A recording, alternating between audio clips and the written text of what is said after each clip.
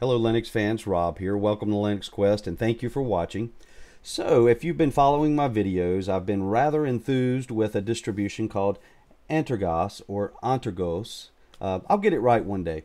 Uh, and several people have sent me links, and I appreciate that. Links to the pronunciation, how to say the word. And I did a little digging and just thought maybe you would uh, find it interesting to know that the word actually means ancestors, which I thought was kind of cool. So we could call this Ancestor Linux.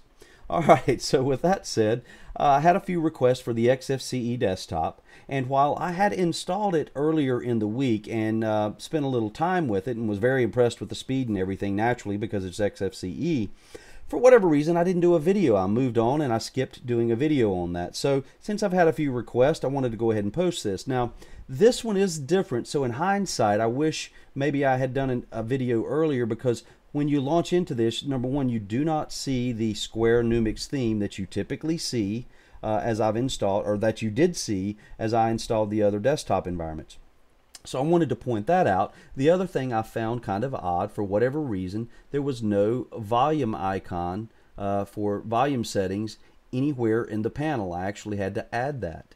And then another difference that you'll see here, especially if you have been running Manjaro uh, with their default XFCE desktop, you will be used to what is called the whisker menu. And so by default, there is no whisker menu in this particular uh, setup, uh, default setup as you launch in. What you will find is this straightforward uh, list menu, which for me is perfectly fine. I appreciate this. Um, you know, I have no problems with this. However, I will say that the whisker menu is very nice. And uh, so once you log in, uh, those are a few things that will maybe stand out to you. Uh, that will be different from, um, of course, what you see in Manjaro with the Whisker menu. But all that said, it's very easy to install the Whisker menu, so we're going to step through that process. Now, I already have it installed, but I just want to step through this so that you can see what it is you'll do. Uh, you'll click on Applications, and you'll go to System, Add Remove Software, and you will not even have to turn on the Arch user repository for this to uh, to pull up and you'll simply type whisker. Now once that uh, has popped up you'll see XFCE4 whisker menu plugin. You'll click that and you'll click apply and um, you will then have installed the whisker menu. Now the whisker menu will not show up here by default. You will actually have to go in and add that to the panel. So you go to a blank space on the panel, you right click and go to panel, panel preferences. Now when we do that, you will see a red line around the top panel and that means you're in edit mode. Um, so once you are in edit mode, you can right click and go to add new items. I think I chose the wrong menu there earlier. So you'll go to add new items and once you are in that um, box, choose Whisker Menu. You'll scroll down to the bottom and click Add. Now you see the menu that pops up here to the right. That is your Whisker menu. So now we're going to uh, move that over to the left, Un unless you like it, uh, you know, on the right. But most people use it over to the left. So we'll uh, right click on that and go to Move, and you'll see a little red line that indicates where that icon will be, where that menu will be if we were to left click. So we're going to go all the way over to the left and we're going to hit left click. So now you have put the uh, whisker menu on your panel and that means we no longer need the application menu. Now you could keep it there if you wanted both. I just don't see uh, a reason for redundant menus. So we're going to right click there and go remove. So now we have the uh, default whisker menu well, I say default. If you're running Manjaro, the default Whisker menu.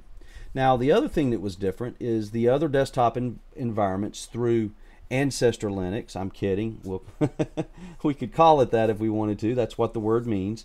Uh, but the Numix icon theme um, and uh, desktop theme was applied on the other desktop environments. I take that back with the exception of KDE uh, but it was applied on GNOME. Uh, it was applied on Mate, I believe, or Mate. Um, uh, don't hold my feet to the fire on that, but I'm pretty sure it was applied on those two. However, it's installed by default, so now we're going to go in we're going to set that up. So uh, now we're in the Whisker menu. That's going to make it a little different. We'll go to Settings, Appearance, and you see here Numix Frost, Numix Frost Light for the style. We're going to go with Frost and that kind of gives you that dark gray look. And now we'll switch over to the icons which are Numix Square and we'll apply those. And you see how quickly that's applied uh, across the uh, desktop environment. XFCE does a good job there. Uh, a lot of times it'll apply and you really don't even need to log out and log back in for everything to look right. So uh, we're going to leave everything else alone for the sake of time. I just wanted to give you a quick overview of of what you could expect on the XFCE desktop all right, so now we have that set up. Now, the Whisker menu is something that I appreciate, especially after I found out where all of the settings were. So I prefer the um, the categories that are now on the right. I prefer those on the left, and I also like to turn off the um, application description or program descript uh, uh, descriptions. So uh, we're going to step through that real fast. So you right click on the Whisker menu and you go to Properties, and then to change the uh, categories from the right side to the left, you will click on Behavior and then you'll click on Position Categories next to the panel button. The other thing that we're going to change quickly, and there are a lot of other settings, and I, I've got a video that steps through uh, some of these settings. Uh, I believe it's titled XFCE settings. I'll have to go back and look. Anyway, um, the other thing I'm going to change is I'm going to toggle off uh, show application descriptions. So once you've made those choices, we're going to click close.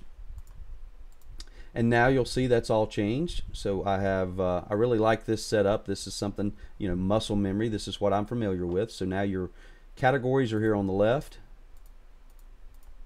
with your applications and programs on the right. And you'll notice since you remove the descriptions, it's uh, you see a lot more in less area. Now the other thing I like about the Whisker menu is you can really take this menu window and do with it what you will. You could, you know, go crazy with it. So, but I like that because on a long list of applications, uh, now in this case we can't go down far enough, but for most use case scenarios, you can stretch that out and not have to worry or not worry, worry is a bad choice of words, but not mess with scrolling like we have here. So like all that control.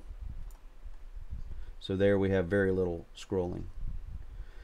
So just wanted to give you a quick uh, glance here at, at the XFCE desktop uh, as it would appear and then what you can do to change that appearance and to add that whisker menu for those of you who are interested in uh, Antergos. Um, you know, I, am very, very impressed with that distribution. So if you're interested in Arch um, and you want to, to have the ability to try various desktop environments, and I, I was chatting with a, a viewer today who is somewhat new to Linux um, and started out with Manjaro and has had, a, I think, a very good experience with Manjaro. I don't think he's looking back to uh, Windows 10 and now he's starting to explore with the uh, various desktop environments. So, you know, it, excuse me, it can be overwhelming when you first get into Linux, cause because there is so much choice there.